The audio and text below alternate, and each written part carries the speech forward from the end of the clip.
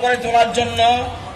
গতকাল রাজ্য মন্ত্রিসভায় গুরুত্বপূর্ণ সিদ্ধান্ত নিয়েছেন আমাদের উপজাতি কল্যাণ মন্ত্রী বলেছেন যে বরমুড়ার নাম করা হয়েছে হাতাই কাতা